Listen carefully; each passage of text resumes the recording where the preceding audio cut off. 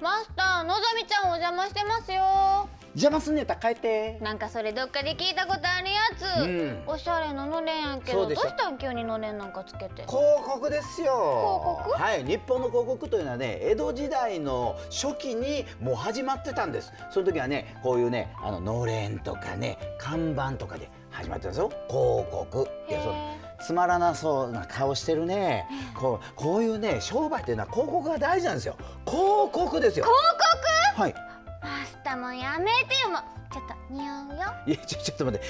おならは広告って違うやん。え違うの？広告宣伝ですよ。広告ですよ。人に知らせなあかん。例えば CM だとか。広告というのは大事なんです。マスターそんな照れずに。言っていいねんで。のぞみちゃんを CM として使いたいんでしょ？え？いいですよ。出てあげても。いやまあいやでもほらのぞみちゃんほらあの CM 用のこととかなんかまた言ってくるんでしょそれは事務所通していただきますけど大丈夫マスターならこれでいいから。え？これでいいから。え？これでええの？うん。ほんま？いくらと思ってんの？5円。のぞみちゃんがワインの価値なわけないでしょ。5000万や5000万。5000万。当たり前やろ5000万も出すんやったらなんかなんとか48とかあんなに頼むわ。なんでやのぞみちゃん48でいいやろ。え？48人いたら5000万の価値あるやんか。のぞみちゃんが48人もおんの？からんなのぞみちゃん48人嫌そうな顔して何が嫌それやったらね四十七士に頼むわ。どういうことかわかりません。5000万は確かに高すぎますよね、はい広告宣伝費稼ぐのにコーヒー何杯売らなきゃいけないのかね。大久保先生だったら今だったら3000万でいきますよ。はい私もっと安いですよ。今ならセールで2500万2500円でもやるけど。あのマスターの店もねコマーシャルで盛り上がっていましたが今回の滋賀経済ナウ広告に関するさまざまな話題を取り上げてみました。はい。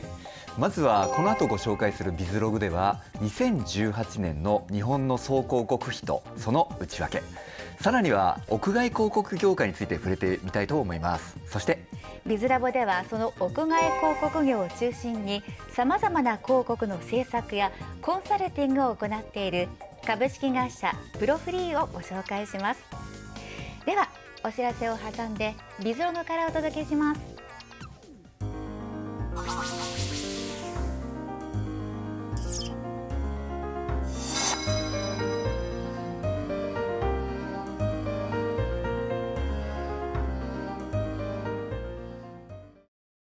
ビズログです。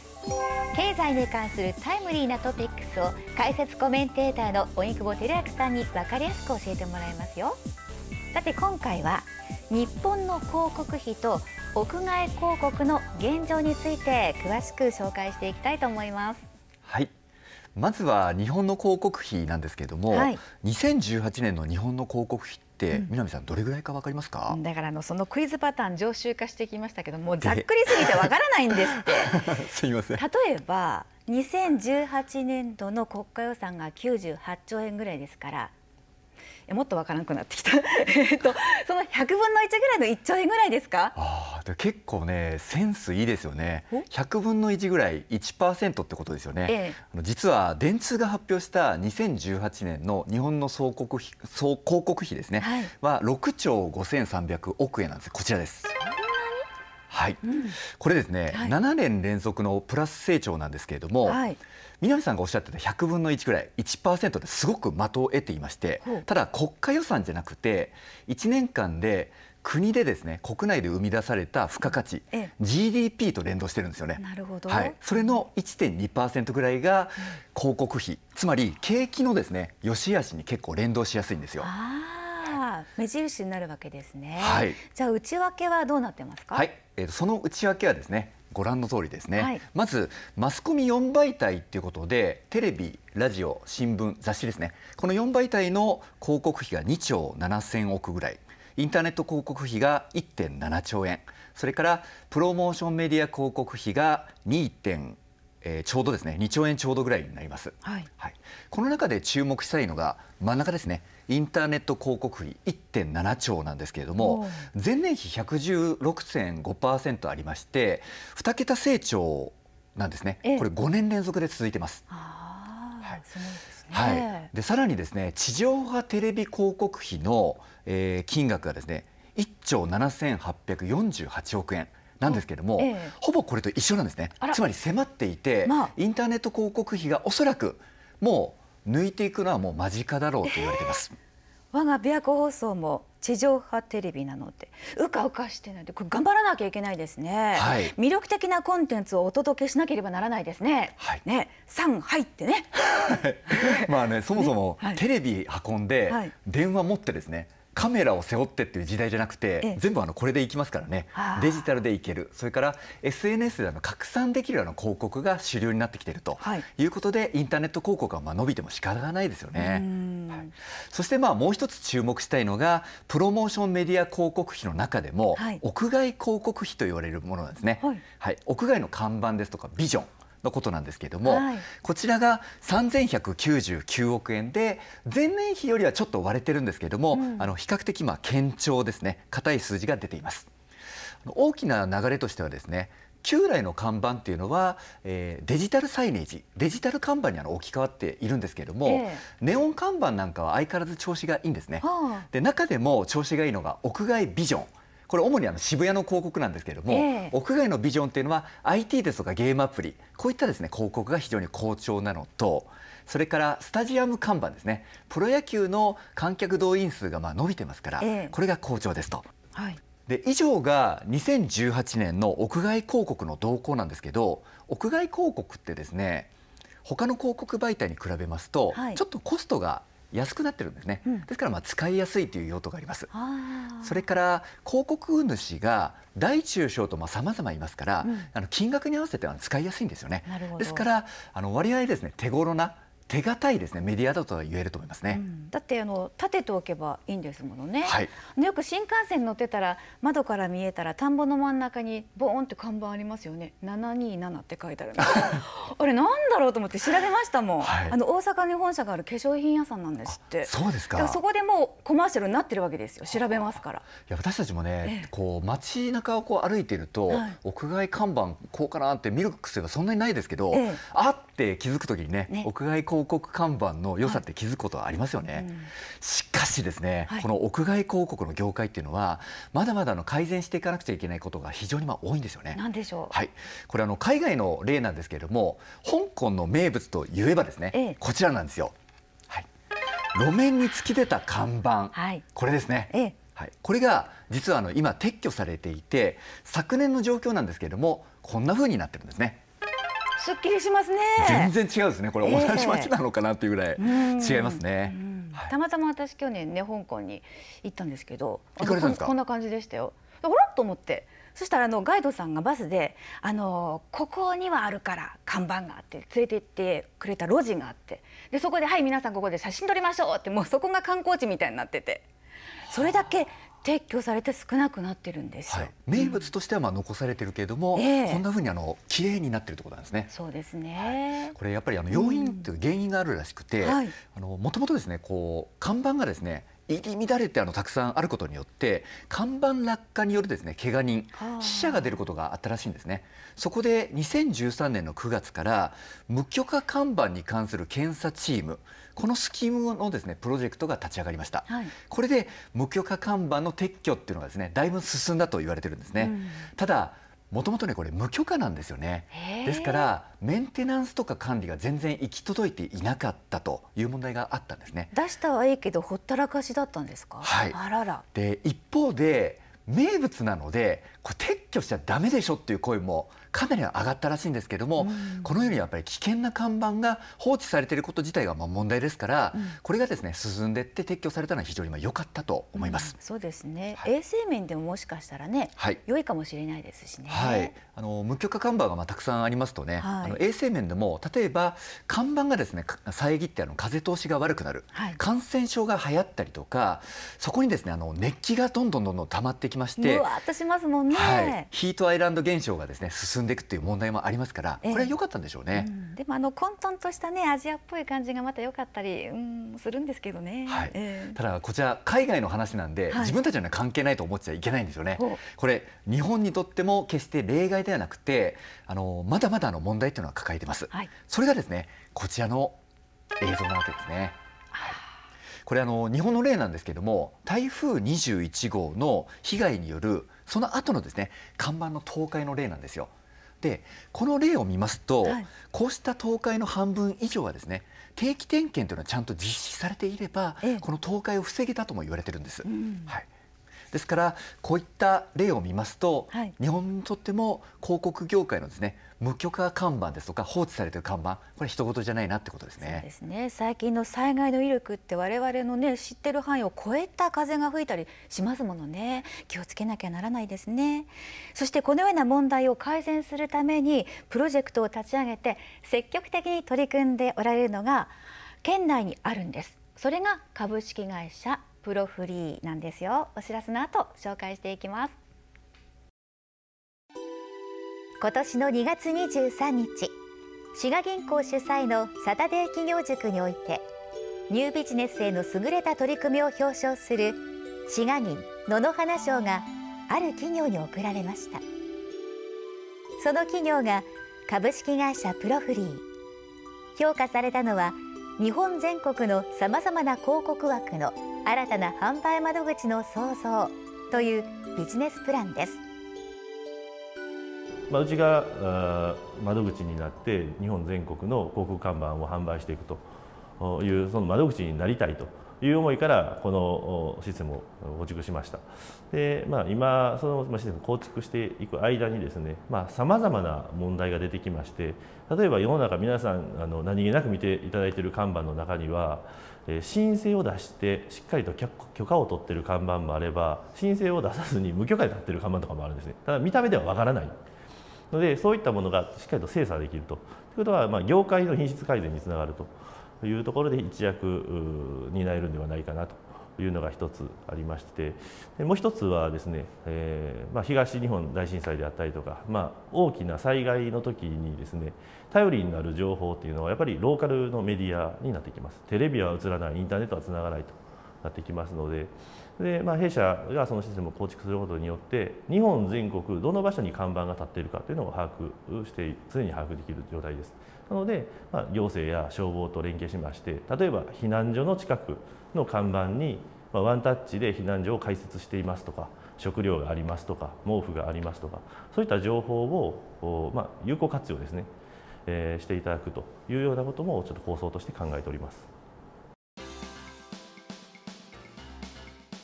立東市の中心部にその拠点を構える株式会社プロフリー屋外広告ロードサイン看板などさまざまな広告の制作やコンサルティングを行っている会社で今年で創業7年目を迎えています。当社スローガンとしましては感動を創造するということを、まあ、あの全社員一丸と取り組んでおります。で、まあ、感動を創造するっていうのはまあ何かと言いますと結局数字ありきの販売ではなくてですね、えーまあ、いかにお客様のところに集客するかお客様の名前をブランディングしっかりとしていくか。というところですね。えー、なので、えーまあ、どこよりもかゆいところに手が届く提案ですね。あのちゃんと本質を伴った提案ですね。自分のことばかりを考えるのではなくしっかりとお客様のことを考えた提案というものを全社員で取り組んでおります。重要視しているところは契約率ではなく解約率の低さ。そちらに着眼して事業を行っております。看板の制作施工さまざまな印刷物などのデザインを行っているのが制作事業部です。まあ、最近やっぱりそのプロフリーとしてですねその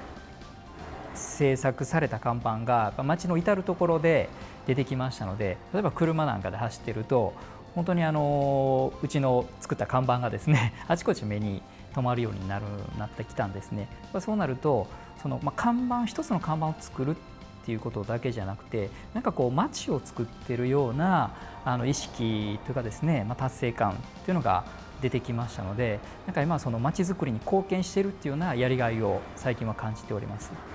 一歩先お客さんが満足する一歩先を意識しているので、ま、お客さんがこういうものを作ってくださいと言われた時に、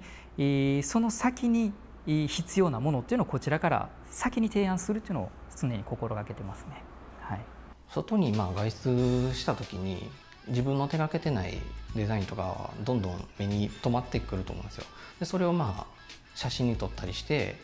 でまあ他のデザイナーの方とかあの社員の人たちにこういうふうなんがあったけどこんなん良くないとか言ってまあお互いの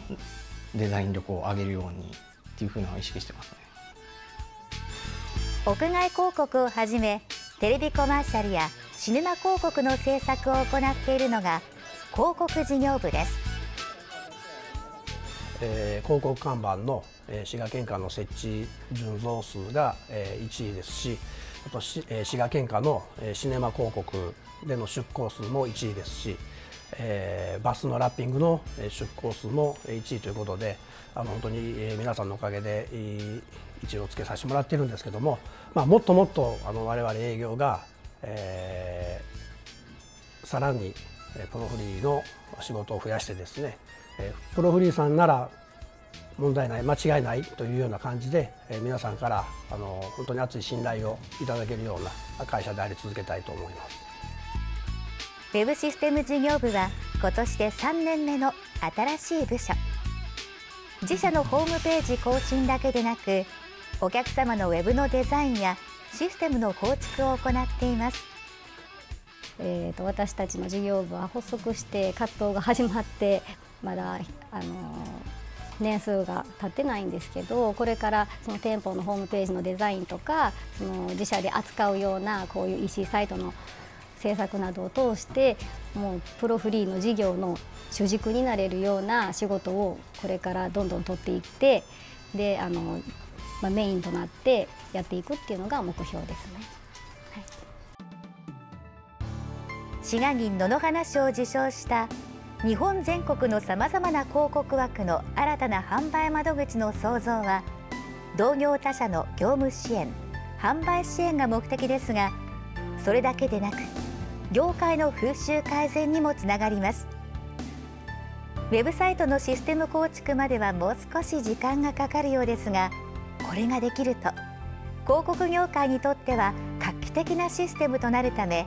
ビジネスチャンスが広がります。まあ、広告看板ってすごく昔からある広告媒体なのでやっぱりちょっと昔だいぶ昔のやつです管理がずさんだったりもう持ち主が誰かさえわからないとかが結構あるんですね。でまあちょっと去年の台風でも結構飛んでしまったとかが結構あるんですけれども、まあ、このサイト、まあ、システムを使うことで、まあそのまあ、点検のお知らせとか何年に1回点検お知らせがこうアップできるとかそういう管理体制というのもあの整えていきたいっていうのが、まあ、ナイキの思いでもあるのでこう違法看板とかですねこうすごく老朽化が激しい看板の管理とかもして、まあ、その綺麗に看板業界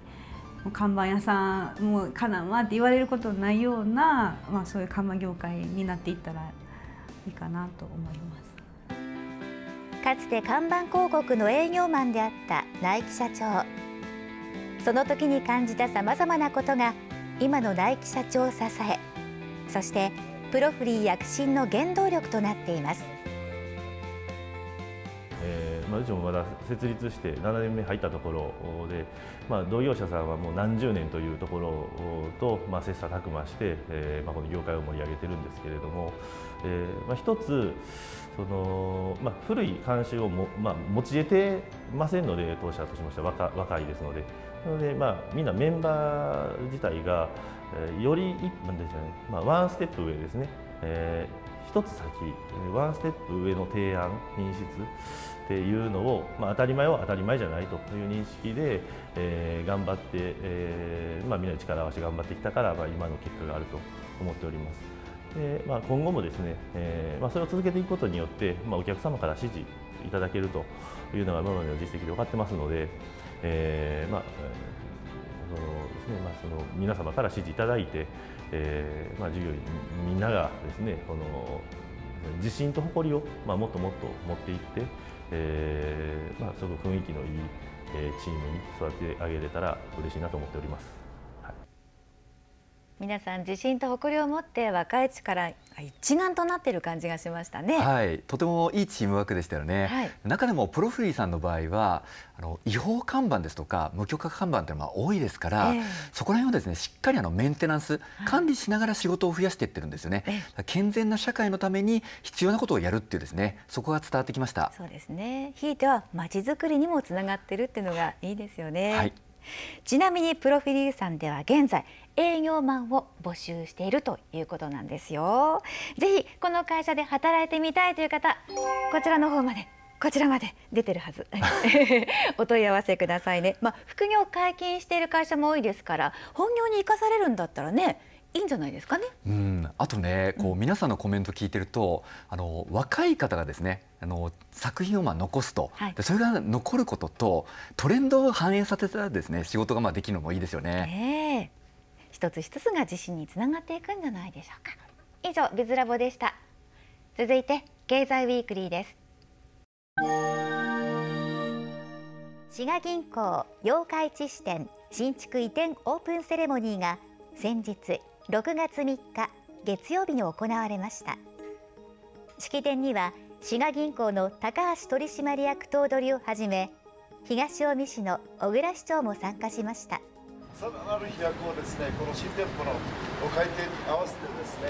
これから記念申し上げたいところでございます。新しく生まれ変わった妖怪地支店は東近江大凧が地に降り立つ寸前の曲線美を表現した勾配屋根が目印ロビースペースは地域行事で利用できるレイアウトに。また地域の特産品である布引き焼きの作品も飾られています。地域の皆さんから、まあ、愛され受け入れられる銀行であるためにこの場所で